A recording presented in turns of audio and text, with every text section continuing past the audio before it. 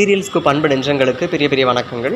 இப்போ நம்ம பார்க்க போகிறது என்னன்னு கேட்டிங்கன்னா பாக்யலட்சுமி பாக்யான் ஃபயர் யாஸ் நம்ம ஈஸ்வரி இருக்காங்கல்ல இவங்க என்ன பண்ணுறாங்கன்னா மாமியா பாக்கியோட மாமியா அவங்க கொண்டு போய் பா நம்ம அவர் பேர் நம்மள பாக்கியா வீட்டுக்காரர் பேர். கோபி சார் அவர் வந்து ஹாஸ்பிட்டல் அட்மிட் ஆகிட்டு ஹாட் டாக் வந்து அட்ராக் ஆகிட்டாப்ல ஸோ திருப்பி ஈஸ்வரி வந்து நான் அப்படியே கூப்பிட்டு வரணும் என் மயனை கூப்பிட்டு வந்து என் மயனை நான் பார்த்துக்கிட்டே வரணும்னு சொல்கிறாங்க உடனே ஈஷ் சொல்கிறாங்க அவர் இந்த வீட்டுக்குள்ளே கால் அடி எடுத்து வச்சான்?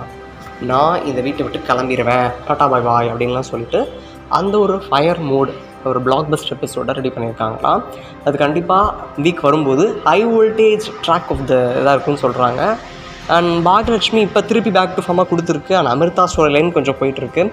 அண்ட் ஒவ்வொரு ஸ்டோரி லைனும் கொஞ்சம் வேக எடுக்க ஆரம்பிச்சிருக்கு. ஜெனியோட ட்ராக் இனி வரும். ஜெனி வீட்டுக்கு வருவாங்க. அந்த ஒவ்வொரு விஷயமும் ஹைலைட்ஸாக பேசப்பட போகுது பட் ரேட்டிங் வைஸ் ரொம்ப இம்ப்ரூவ்மெண்ட் தெரியல. வெயிட் பண்ணி பார்க்கலாம் என்ன ஆகுதுன்னு சொல்லிட்டு. தேங்க்யூ மக்களை. டட்டா பாய் பாய்